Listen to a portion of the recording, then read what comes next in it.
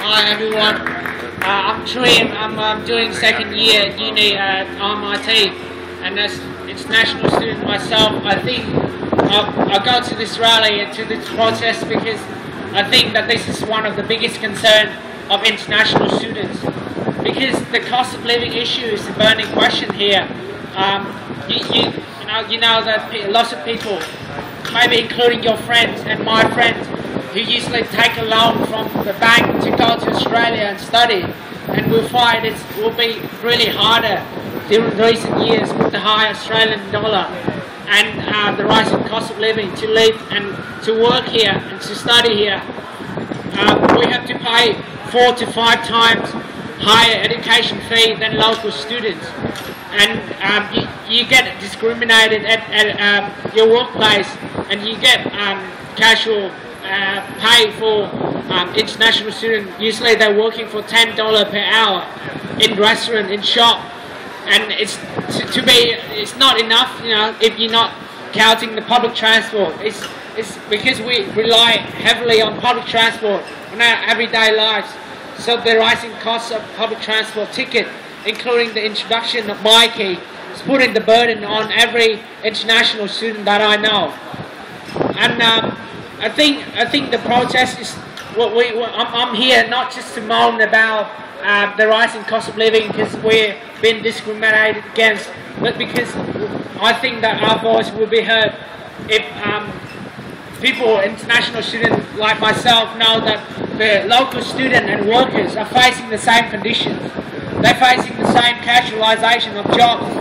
They're facing the high cost of living, you know, like be forced out of their house and trying to find cheap rent and, you know, to live near the city. Or otherwise you have to get out of the suburbs. And they're facing the, the, the, the, the cuts in TAFEs. You know, recently we had the government here trying to cut the money funding for TAFEs. That's what other people are facing here a rallying call that we're going to unite people around the issues and we're going to fight for that. Because this fighting for free, decent transport is a fight for everyone, not just for international students. Thanks everyone. Thanks, Tria. Um, I think that it might be a good idea now to uh, warm ourselves up a bit to do a little bit of chanting, if people agree. Um, so I think we might start with, what do we want? What do we want? Free public transport. What do we want? Yeah. What do we want? Free public transport. When do we want it? Yeah. What do we want? Free public transport. When do we want it? Yeah. What do we want? Free public transport. When do we want it? Yeah. How are we gonna get it? Fight for it. How are we gonna get it? Fight for it. How are we gonna get it? Fight for it. Okay, thanks guys, good job. Um, just in case anyone was wondering, the uh, Transport Minister's office is actually behind us in this complex.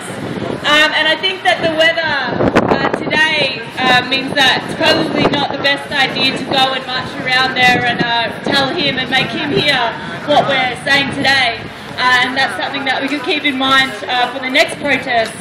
Um, but yeah, I guess I just want to ask if there's anyone in the crowd here who wants to come up and say a few words before we finish up today. Don't be shy.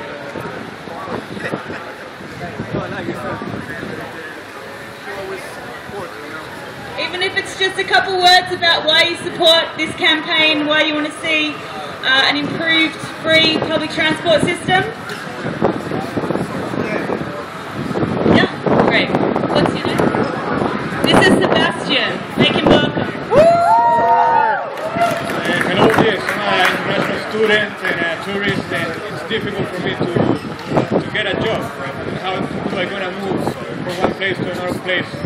And Is so, rich that we could have at least a better, you know, options like free. It's a better option. So that's it. Thanks, Sebastian.